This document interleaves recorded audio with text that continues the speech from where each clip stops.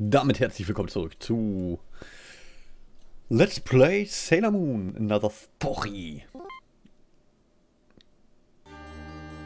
Wow, das ist der höchste Berg Europas. Er ist so riesig und ich kenne nicht mal seinen Namen. Zoiside Stein des Lichts muss sich irgendwo unter diesem ganzen Schnee befinden.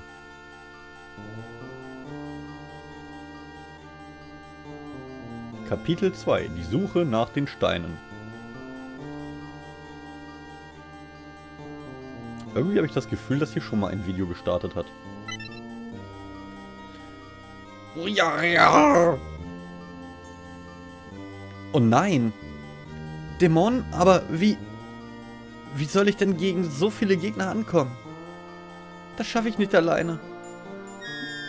Genau, spring runter. Da unten ist es eh viel kuscheliger. Hack, hack, hack, hack, hack, hack, hack.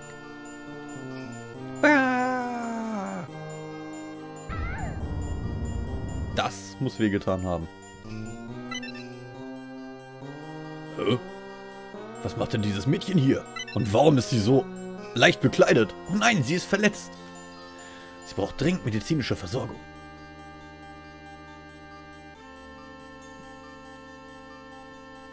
Äh. Wo bin ich? Du warst ohnmächtig. Du bist hier runter, äh, runtergestürzt, bis unter den Gletscher. Wer bist du? Ich heiße Hans. Und wie heißt du?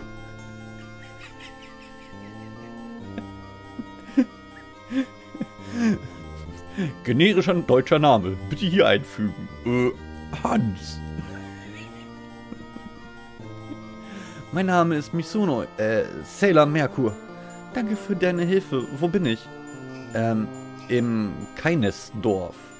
Es befindet sich unterhalb des Gletschers. Unterhalb des Gletschers? Ja, bereits seit 200 Jahren befindet sich dieses Dorf hier. Du bist seit Jahren die erste Person, die hier aufgetaucht ist. Bitte ruh dich noch etwas aus. Wirklich? Aber ich habe dir schon genug Umstände bereitet. Ich sollte dich wirklich nicht länger belästigen.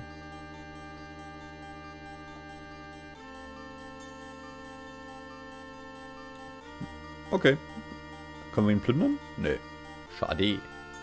Aber ich weiß, was wir machen können, um uns das Ganze ein bisschen einfacher... Äh.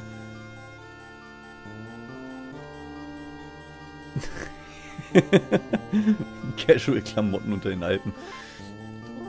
Ja, machst du das nicht? So, da ist nämlich der Grund, warum ich nämlich die ganzen Sachen. Kleinen Moment. Das Ding gibt 8 Verteidigung, das Ding gibt 5 Verteidigung. Dann nehmen wir das Diadem. Lieber zwei Diademe. Und wir haben auch ganz schön viel Kohle. Oh, Nanu, was ist denn hier los? Geht es dir gut? Bitte sei nicht mehr so leichtsinnig. Geht es dir gut? Bitte sei nicht mehr so leichtsinnig. Hm. Okay. Der Text von dem Typen ist anscheinend ziemlich eintönig. Gucken wir uns hier nochmal um. Haben wir eine Kiste? Keine Kisten. Laufen wir durch die Gegend. Hier ist auch nichts weiter. Dann laufen wir wieder zurück. So. Wo sind wir denn hier? Brrr. Huh. So sieht der Stein der Dunkelheit schimmert. Also muss der Stein des Lichts ganz in der Nähe sein. Oh. Evil Genius. Stimmt. Zersites Hülle muss ganz in der Nähe dieses Dorfes sein. Aber... Gut, gucken wir uns hier erstmal an, was wir hier kaufen können. Hallo! Willkommen! Kaufen, verkaufen, beenden. Ich möchte gerne kaufen. Was möchte ich denn kaufen? Das kostet ganz schön viel. Können wir hier irgendwas Leckeres kaufen? Sushi. Ähm, kleinen Moment. Wir sollten vielleicht mal gucken, was überhaupt diese Items bringen.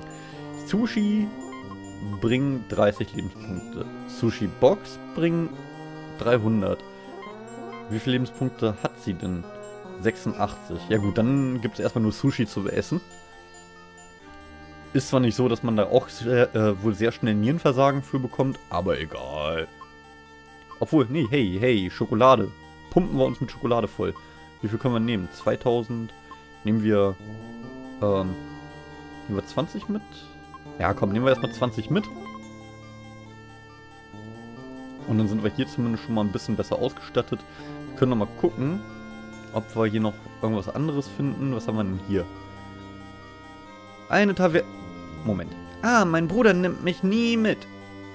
Okay. Meine kleinen Bruder sind, äh, meine kleinen Brüder sind nervig und lernen nie etwas dazu. Ja, so sind kleine Brüder. Warte mal ab, bis der erstmal von Dämonen gejagt wird oder so. Dann sind sie ganz handsam. Mein Bruder redet, ähm, redet jetzt so, aber bevor unsere Schwester fortging, warst er genauso wie wir. Und er warst gewesen worden tun. Hallo, du bist der Gast von Hans, nicht wahr? Hans ist so ein guter Sohn. Und er ist so freundlich. Ich will auch einen Sohn wie ihn. Okay. Ähm, by the way, warum kann, warum kann Amy eigentlich Deutsch? Weißt du nicht weiter? Amy kann das. Stimmt, Amy, ey, sorry, Amy kann Deutsch. Oh, was? Das wird ja richtig krass. Also, Miese Background-Stories, die man hier bekommt. Amy wollte auch in Deutschland Ärztin werden.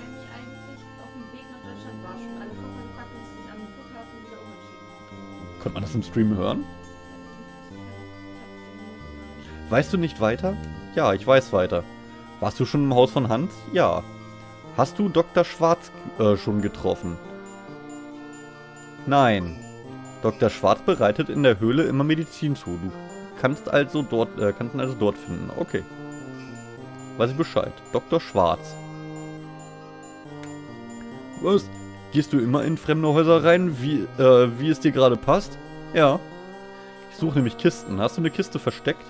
die ich looten kann. Loot, loot, loot, loot, loot. Kein Loot. Wer bist du? Woher kommst du? Nyongode? Wenn du von diesem Dorf aus nach Osten gehst, findest du das Dorf Andeng. Okay. Und das Dorf soll mir was sagen. Sag, wie groß ist denn dieses Dorf? Und wie kann es sein, dass die ganzen Dörfer unter einem Gletscher aufgebaut sind? Ah, was haben wir denn hier? Hallo. Es kostet 500 Yen, hier eine Nacht zu verbringen. Möchtest du bleiben? Nee, sorry, ich habe nur D-Mark dabei.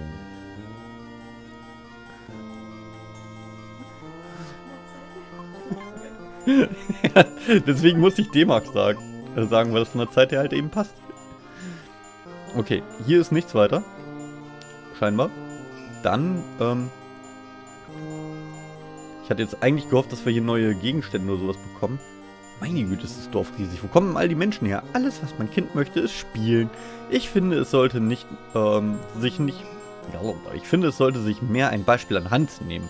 Genau, Hans macht nämlich alles in diesem Dorf. Alles. Absolut alles. Hey, du kommst von außerhalb des Dorfes. Ich würde zu gerne mal sehen, was dort draußen ist. Ähm, habt ihr hier Elektrizität? Ist das die Vorstellung von Deutschland? Ein Dorf ohne Elektrizität? In der Höhle im Norden gibt es viele Schätze. Du solltest sie irgendwann mal aufsuchen.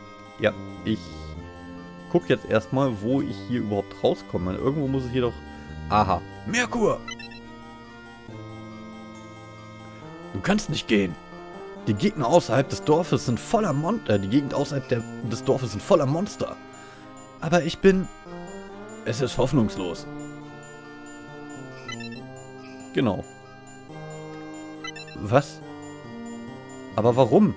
Du könntest nicht gehen. Die Gegend außerhalb des Dorfes ist voller Monster. Das hatten wir schon. Danke. Aber wenn ich da nicht hingehen kann, wo kann ich denn dann hin? Kann ich da lang? Da ist kein Dorf. Und da war auch keine Höhle. Irgendwo soll doch eine Höhle sein. Wo ist denn dieser Doktor? Ich will diesen Doktor treffen. Ist der mit einer blauen Box verschwunden oder so? Nee, hier war ich schon.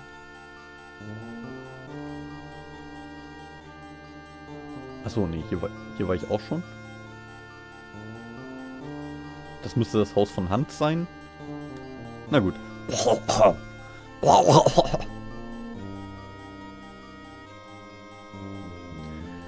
Also, kleiner Tipp, geh lieber weg, das ist ansteckend.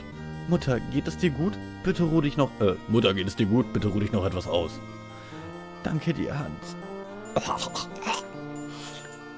Du kümmerst dich immer um mich. Verdammt, es geht ihr von Tag zu Tag schlechter. Mutter.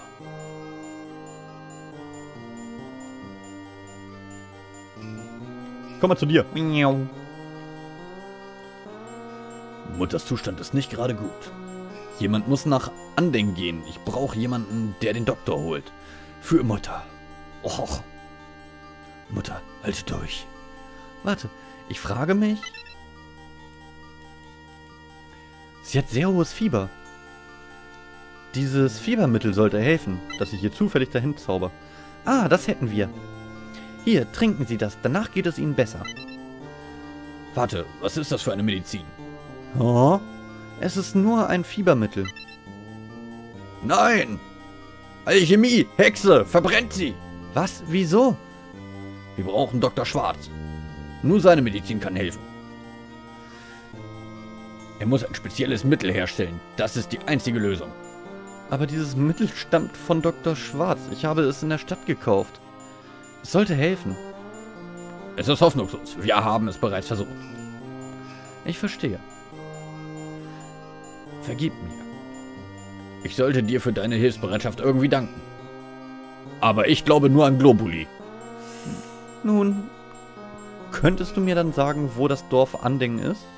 Anding befindet sich östlich von hier. Wirst du Dr. Schwarz holen? Ja, ich stehe in deiner Schuld. Sei vorsichtig, außerhalb des Dorfes wimmelt es von Monstern. Es ist gefährlich. Ich passe auf mich auf. Vertrau mir. Ich brauche dich, sei vorsichtig. Äh, ich bitte dich, sei vorsichtig. Ja, erst aufhalten wollen und dann so, ach so, du willst die Medizin holen? Ja, komm, dann geh sterben. so war das doch gerade. So, was für Attacken sollte man eigentlich nicht machen, wenn man gerade irgendwo im Eis unterwegs ist? Wie wär's mit Seifenblasen, Seifenblasen oder Wasserstrahl? Kraft des Wassers. Hm. Nein, wir probieren es einfach. Mal gucken, was passiert. Haha, daneben. Smack. Wir probieren es einfach weiter. Mal gucken, was passiert. Oh, also die Verteidigung ist auf jeden Fall schon mal ziemlich gut. Wir spielen mit der Wasserpfütze. Also wir werden mal, gu wollen mal gucken, wie weit wir hier kommen. Ohne zu sterben. Und nicht nur ohne zu sterben, sondern wir wollen auch mal gucken, wie weit wir kommen, ohne... Oh, guck mal! Der eine Gegner hat einen lustigen Smiley an seiner Hüfte. Ist doch voll cute.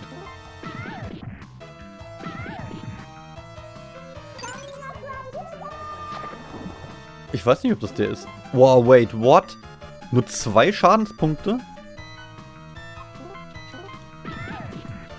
Jetzt übertreibt es hier aber. Dafür gibt es... Oh, es geht schon wieder los.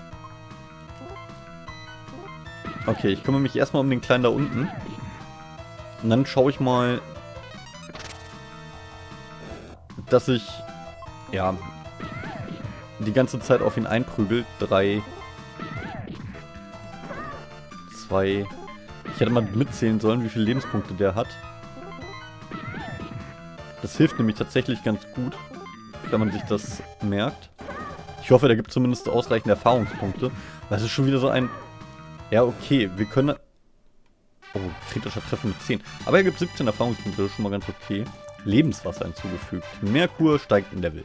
Das ist auch gut, das heißt wieder volle Lebenspunkte. So. Komme ich... Ich versuch's mal mit Osten. Ist das das Dorf? Ist das Dorf! Ich habe das Dorf gefunden.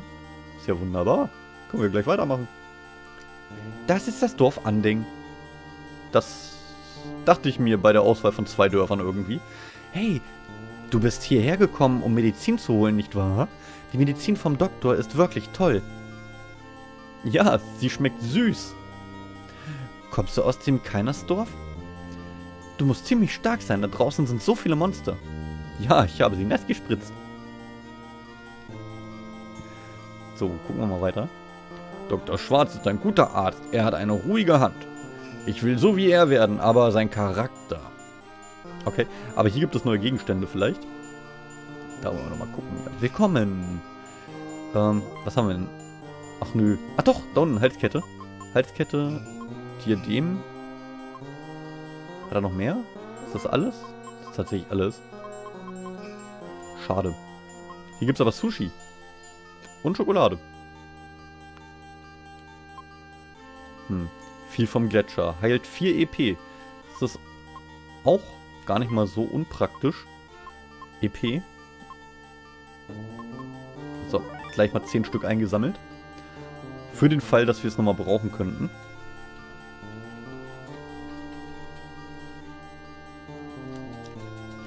So, wir haben nicht oft Gäste hier im Dorf. Ja, ich frage mich auch, wie ihr euch am Leben haltet. Ich sehe keinerlei, ähm, keinerlei, wie heißt das Zeugs? Äh, Ackerbau oder sonst irgendwas, Viehbetrieb. Nuckelt ihr Gletscher oder so? Reicht, reicht euch das, indem ihr einfach Gletscher nuckelt, ja? Nicht sicher. Möchte ich speichern? Ja, irgendwie möchte ich speichern.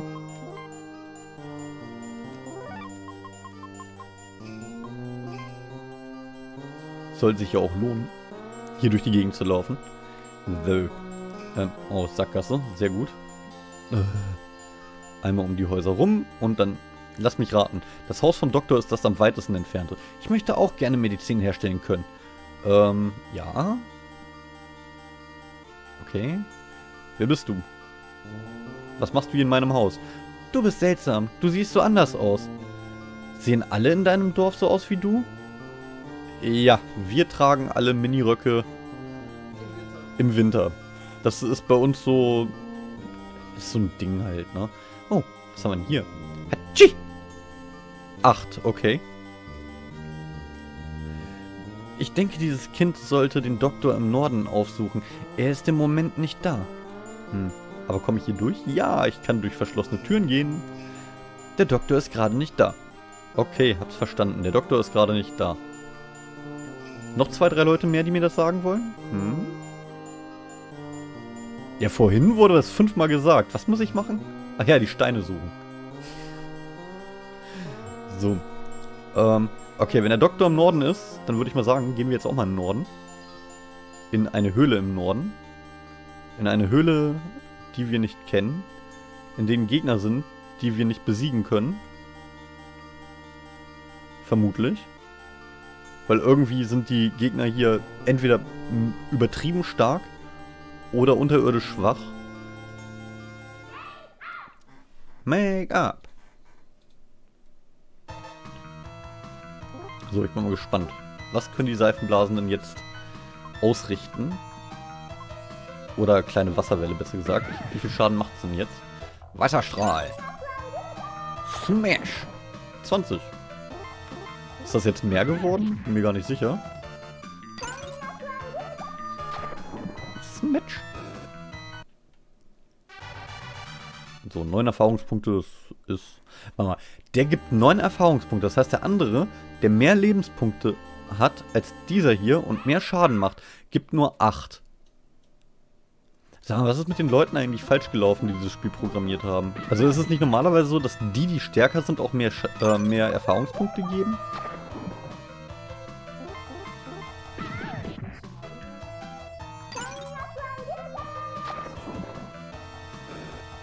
Nee, das, die EP ändern sich eigentlich nicht.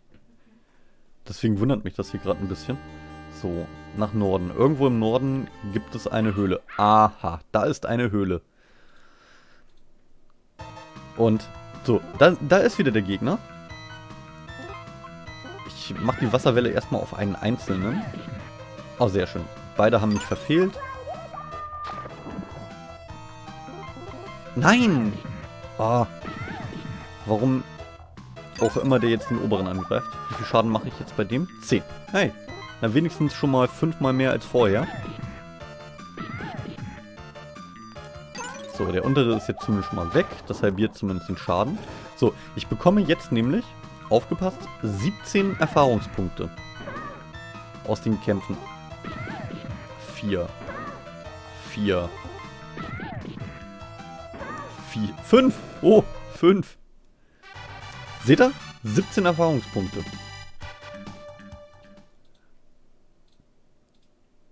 Das ist echt ein bisschen wenig. Oh nein. Ich krieg Panik vor dieser Höhle.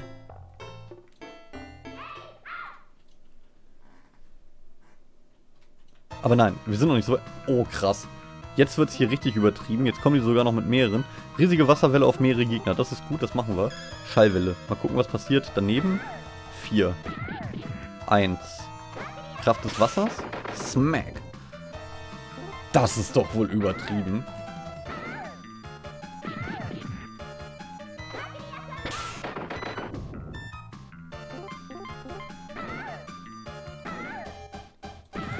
Acht Schadenspunkte? The fuck? Was tut ihr hier? Oh, zumindest haben wir schon mal einen weniger. Das ist gut. Schallwelle. Daneben. Schlag mit 5, das ist okay. Ah, schön mit der Schallwelle immer dann daneben schlagen, das wäre super. Macht ihr nämlich keinen Schaden. Das ist nämlich gut. Ha. Das ist echt. Pass auf, und jetzt gibt es irgendwie nur, was weiß ich, 15 Erfahrungspunkte oder so. So richtig lächerlich.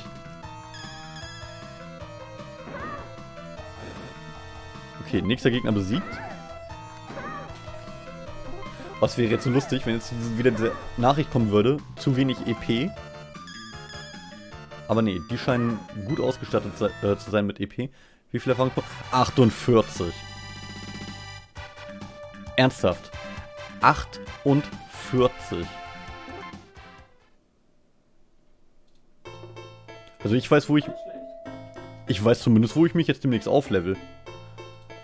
Also, wenn es hier 48 dafür gibt und wir jetzt irgendwie so einen, so einen miesen exponentiellen Anstieg unserer, ähm, na, unserer, unserer Schlagkraft haben, nur weil wir hier eben kurz ähm, Sachen tun,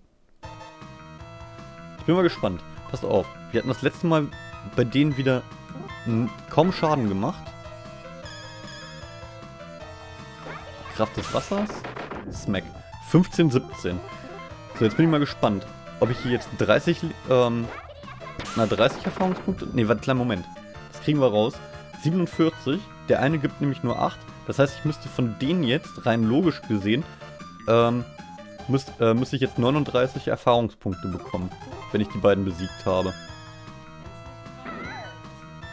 Ne, die Erfahrungspunkte sind fest. Normalerweise ist es bei RPGs so, dass man ein gewisses Setting aufbaut. 40 Erfahrungspunkte, okay. Ähm, ein gewisses Setting aufbaut und das wiederholt sich. Man gibt immer, man weist einem Gegner eine gewisse Erfahrungspunkte zu und in, je nachdem in welcher Kombination die kommen, bekommst du dann halt eben die Erfahrungspunkte hinzu, also aufeinander addiert. Geil, noch ein Level up. Sweet. Okay, das Leveln geht hier echt rapide. Kein Wunder, bei 40 Erfahrungspunkten. Bei den Gegnern. Oh, das ist neu. Aber neu ist gut.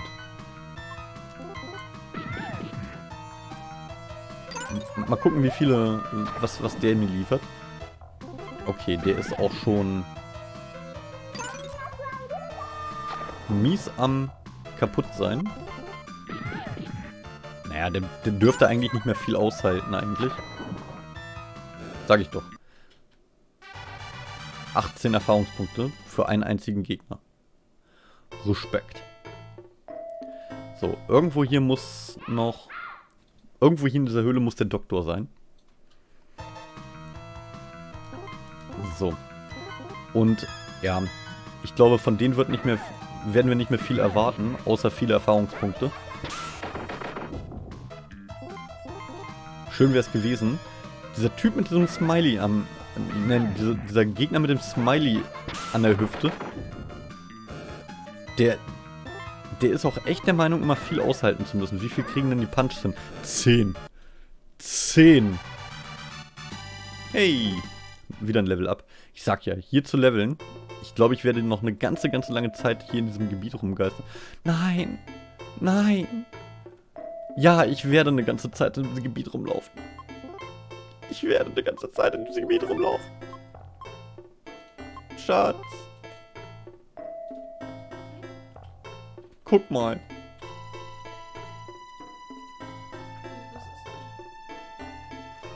Guck mal. Ich weiß, was da unten passiert.